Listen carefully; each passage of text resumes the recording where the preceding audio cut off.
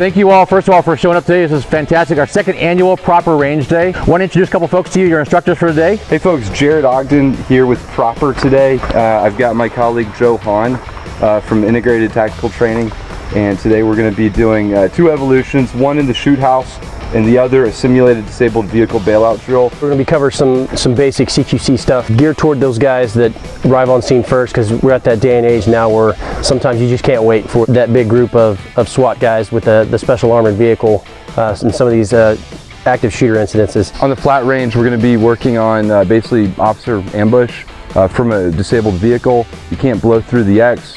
Uh, you're being assaulted and you, you got to fight back. So uh, in today's day and age, officers are getting ambushed all the time, so this is really a counter ambush, uh, fight through the objective course.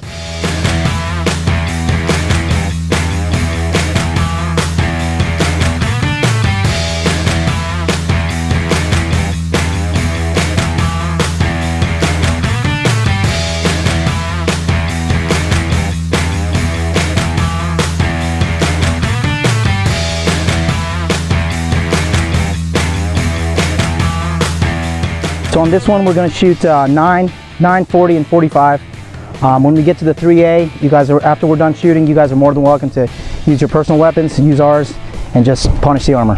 Yep. All right, eyes and ears.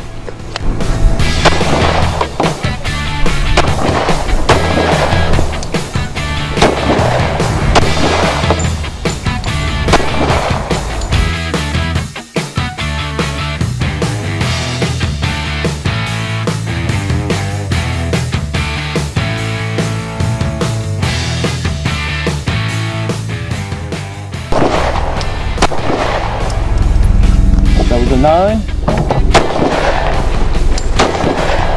That was the 40. That was the 45. Then we'll move up to the 44.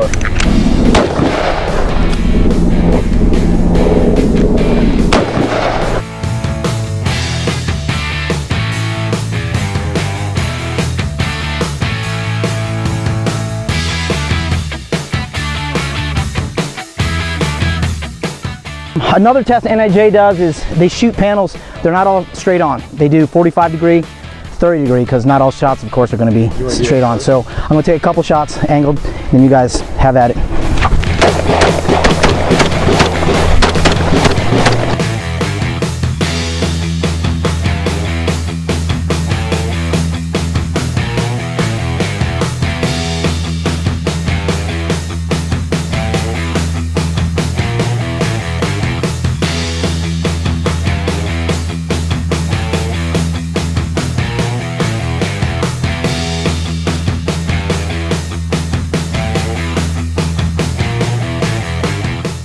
Seven six two by five one.